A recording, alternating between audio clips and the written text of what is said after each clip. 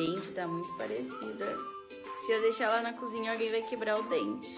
Musiquinha, musiquinha do Comidas Falsas. Comecei hoje um quadro novo aqui no meu TikTok de comidas falsas.